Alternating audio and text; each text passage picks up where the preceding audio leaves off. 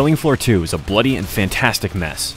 Whether it's the impact of the guns, the guts of your enemies catapulting into the air, or the heart pounding metal soundtrack.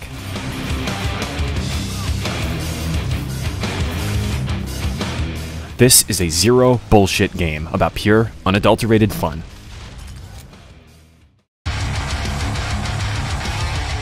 Killing Floor 2 has four game modes. The Survival, the standard beat 4 to 10 waves and a boss then win mode. Weekly, the same as Survival but with an extra game modifier slapped on top to provide an extra challenge or just some laughs. Endless, survive as many waves as possible. And finally, Versus, where one team controls humans and the other team controls Zeds. But unfortunately, this game mode is pretty much dead due to its very unbalanced nature, so I won't really be talking about it.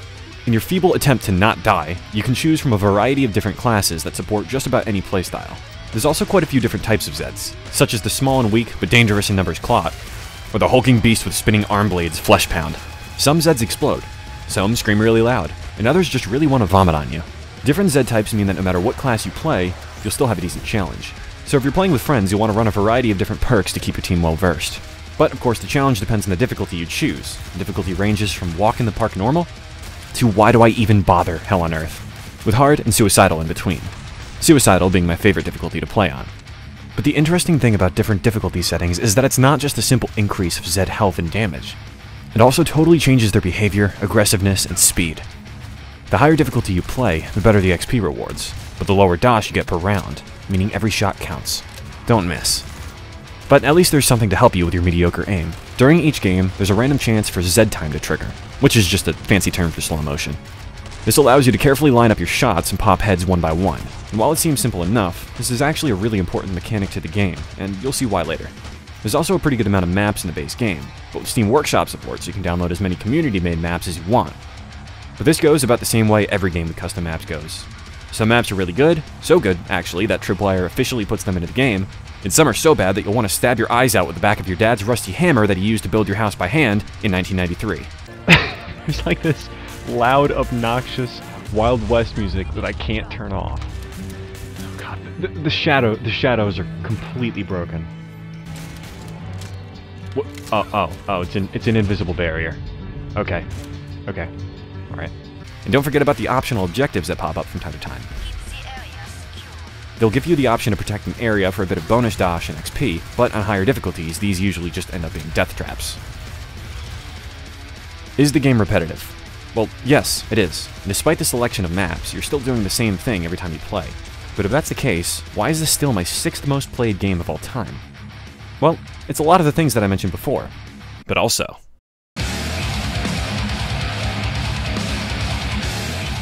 No one does guns like Tripwire Interactive. It's never felt so good to blast a Zed's head off. And you can do so with just about any type of weapon you can imagine.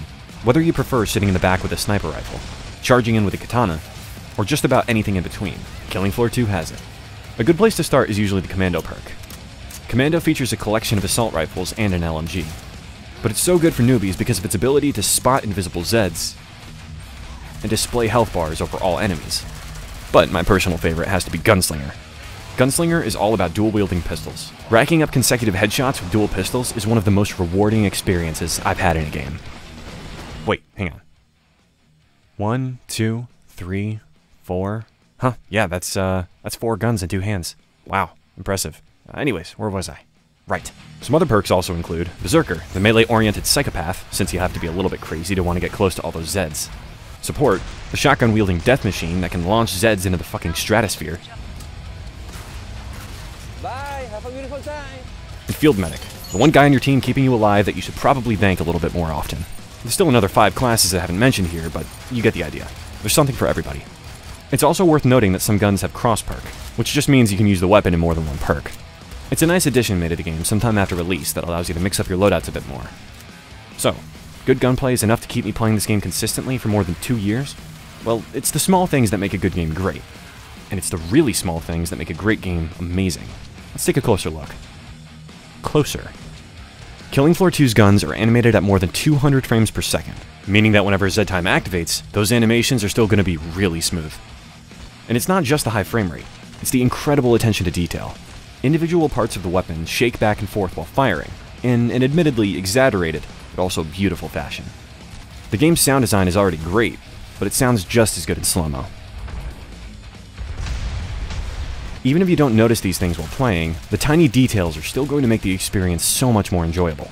So hats off to you, Tripwire Interactive. You've made some of the best gunplay ever. Gore, violence, viscera, bloodshed, uh, brutality, ruckus? Hmm. Popping heads and removing limbs is what Killing Floor 2 is about, and it is so good. You can play Berserker and grab a katana to cut Zeds into pieces, or equip a grenade launcher and watch as Zeds explode into bits. And it doesn't even end there. Killing Floor 2 has a relatively new graphics setting called NVIDIA Flex. Flex is a particle-based simulation effect that depicts realistic bodies and fluids. I keep Gibs on when I'm playing, and you've seen this effect throughout the rest of the video whenever there's intestines flying through the air. But you can also enable fluids, which normally I don't use because it has a very heavy performance impact on my computer and is difficult to maintain a steady frame rate. However, I couldn't simply gloss over this, so I recorded some 30 FPS footage to show you. With this setting enabled, Gore looks even more incredible. Sure, it's a bit cartoonish, but last I checked, we're not exactly playing a milsim game here. And after I eventually upgrade my computer to higher specifications, I'll certainly be playing with this option enabled all the time.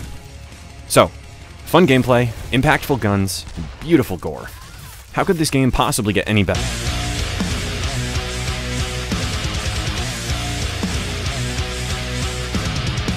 Killing Floor 2 features a heart-pounding, intense metal soundtrack that matches the game perfectly.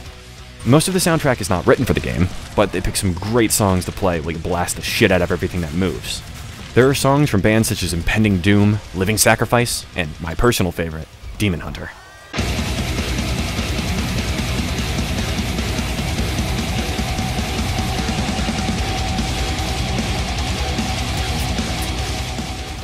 Then the wave ends, and you make your way to the trading pod during the precious moment of silence that you have before the next wave starts, and it's back to kicking ass or dying miserably.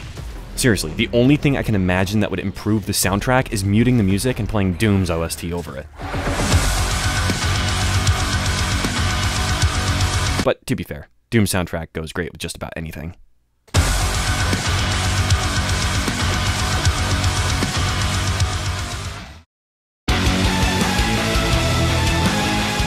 And of course, what would any game be without crates? But before you start writing a letter to Gabe Newell about how Valve should be abolished for allowing evil crates into your beloved Killing Floor game, remember that every single content update since release, which includes guns, maps, perks, and events, has been totally free. These are all things that affect gameplay. Skins do not. And the main reason I don't care about the option to pay to open crates in this game is because of the Dosh Vault. Completing daily and weekly challenges will earn you Dosh for the Dosh Vault. Once you earn half a million, which takes completing one weekly challenge or 10 daily challenges, you get a crate that doesn't cost anything to open. And anything you get from the crate cannot be sold in the market. The reason I think this is such a good system is because it provides the satisfaction of opening crates and getting cool skins without turning you into a gambling addict maxing out your mother's credit card. Sure, I understand taking content out of a game and charging money for it is a scummy move, but these are all aesthetics.